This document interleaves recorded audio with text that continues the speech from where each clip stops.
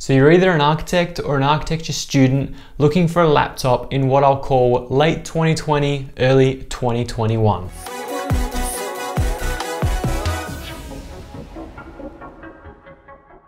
What's going on guys? My name is David Tomic and welcome back to the channel. If you're new here, on this channel we review technology and talk about all things architecture related. If that's something that interests you, make sure you smash that subscribe button down below and let's get on with today's video. Today we're talking about the best five laptops for architects and architecture students in 2020.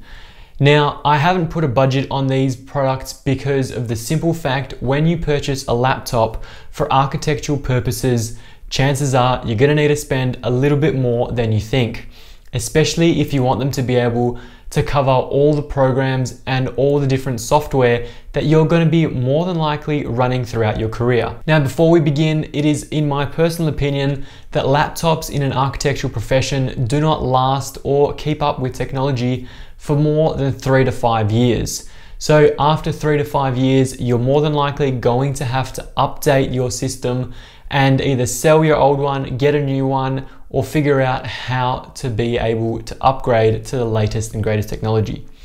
That's because technology moves at such a rapid pace that it will leave you behind and you will not be productive with an outdated machine. So with that being said, let's get into my top five laptops for architects in 2020 in no particular order. Number one is the Microsoft Surface Laptop 3. It's the product you see behind me and it is my personal laptop of choice. However, to be able to run this machine on all accounts that you need to be using it, you're gonna need to spec it out, which means an i7 processor, 212 gigabytes of storage at a minimum, and 16 gigabytes of RAM. The reason I've selected the Surface Laptop 3 over the Surface Book 3 is predominantly for price. I've again selected the Surface Laptop 3 over the Surface Pro X for the simple fact that the Surface Pro X has a mobile chipset inside it and doesn't have the graphics capabilities to run programs like ArchiCAD, Revit, Rhino, 3ds Max, or any other rendering software you might think of. So this machine behind me will set you back approximately 2,699 Australian dollars or the equivalent of 1,889 US dollars. So that isn't exactly a cheap laptop to be purchasing. However, I've had this device for a year and a bit now. The Surface 4 is about to come out in this month, if not sooner.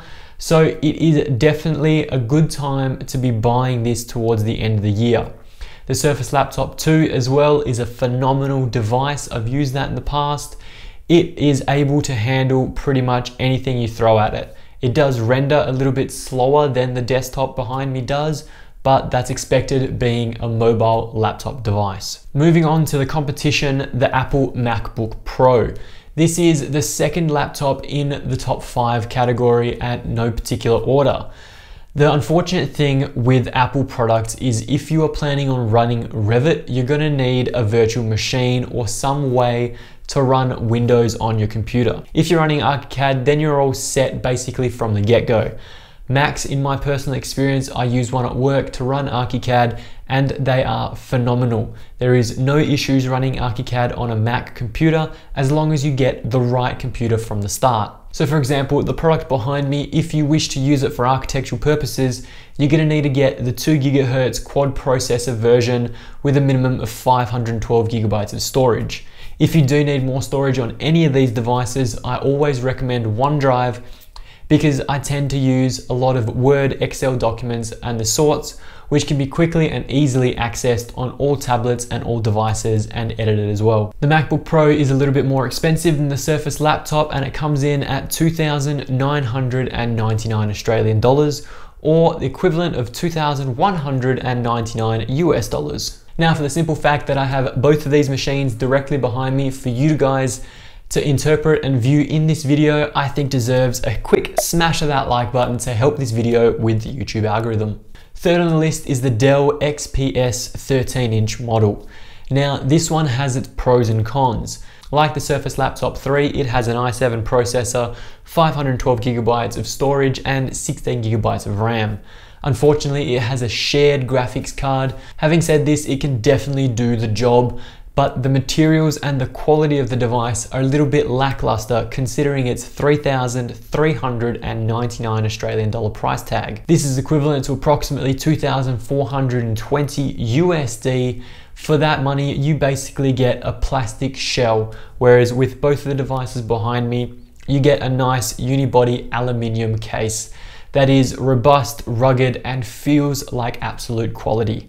For both of these devices being cheaper than the Dell XPS, again, I'd pick one of these two over the Dell hands down any day. Now we're moving up into the world to the more CAD workstation purpose-built computers. These are, in my personal opinion, not the prettiest things, but they do the job and they do the job very, very well. I'm gonna read this one straight off my iPad because being an MSI, it has a very long name. Number four on the list is the MSI WP65 10th-1210AU. I know, tongue twister. The benefits of this device over the rest is the simple fact that it has a 15.6 inch screen.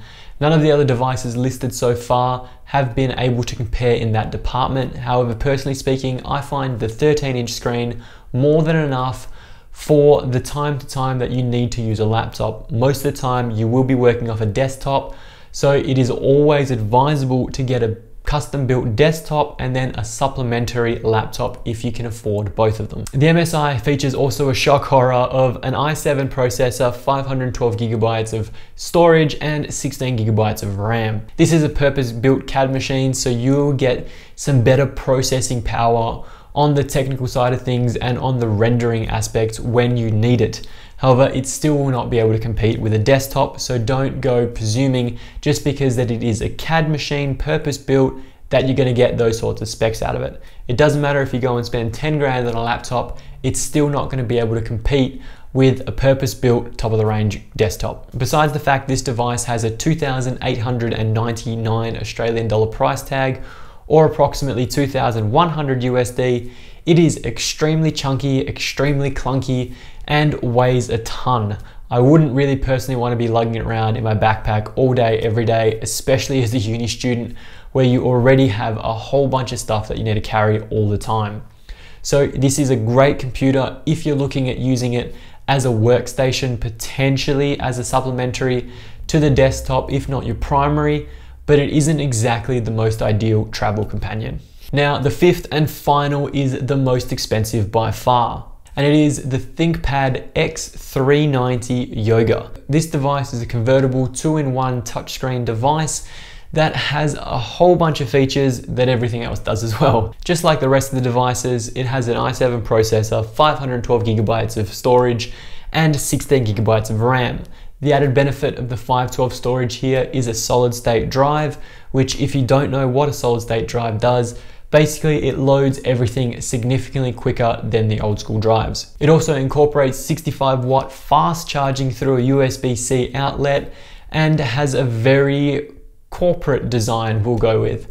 I guess because in the last company I worked for, everybody had a ThinkPad. It was the standard issue across the board and they were okay. They were the intro models, they definitely weren't this, and I personally wasn't a fan of their design. But hey, the design isn't everything. This device is able to handle anything you need from Revit to ArchiCAD.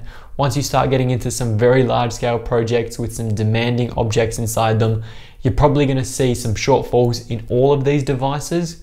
But out of all of these devices, I think the ThinkPad and the MSI are definitely gonna be able to stand up to most of what you throw at it. Anyway, that's all for me today, guys. Thank you so much for watching. I hope you enjoyed the video. I hope it gave you some insight into what laptop you should be looking at purchasing as either an architect or an architecture student in 2020.